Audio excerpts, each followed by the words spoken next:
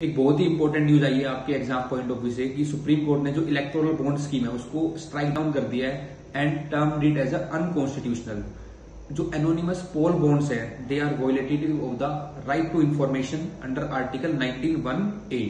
जो क्या कहते हैं freedom of speech and expression देखो, जब पुट्टा स्वामी जजमेंट आया था तो क्वेश्चन आ गया था यूपीएससी प्रीलिम्स के अंदर कि कौन से आर्टिकल से रिलेटेड है। It was related to article 21 ऐसे आपको याद होना चाहिए कि जो ये इलेक्ट्रॉल बॉन्ड की स्कीम जो स्ट्राइक डाउन किया है, वो किससे आर्टिकल से रिलेटेड आपका?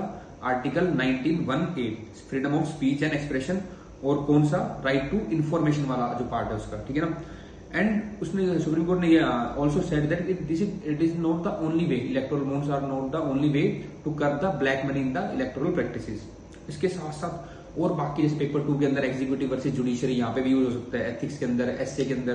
पपेड की अगर बात करें तो accountability and control chapter significant issues of Indian administration यहाँ भी आप इसको यूज़ कर सकते हो जजमेंट को। Also supreme court stated that कि जो एसबीआई आप स्टॉप करें इलेक्ट्रोल बॉन्ड को सेल करना, और जो भी इंफॉर्मेशन है उसके रिगार्डिंग वो ईसीआई को इलेक्शन कमीशन ऑफ़ इंडिया को दे, ताकि it will be publish on its website and last में जो कहीं ना कहीं सुप्रीम कोर्ट ऑब्ज़र्व दैट